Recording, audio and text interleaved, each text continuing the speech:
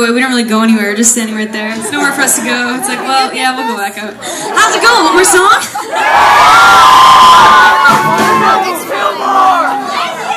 The chants really did encourage us, though. We're gonna try something a little, uh, a little out of the ordinary.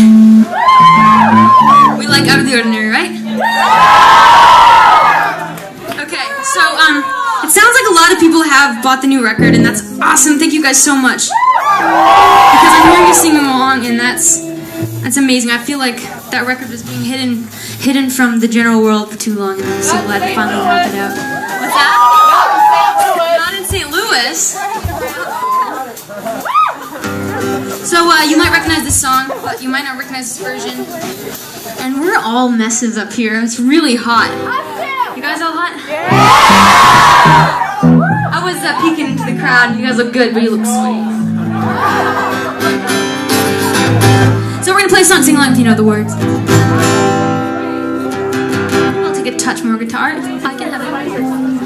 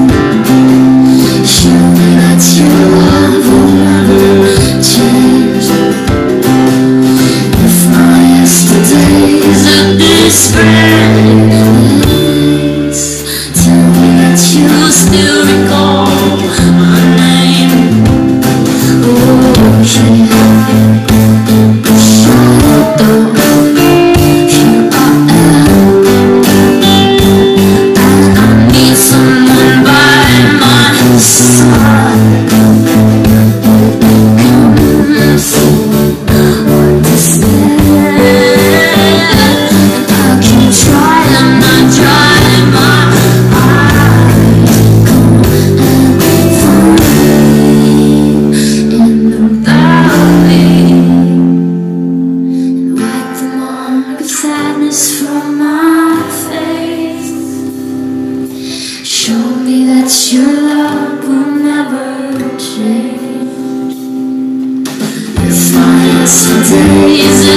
Change.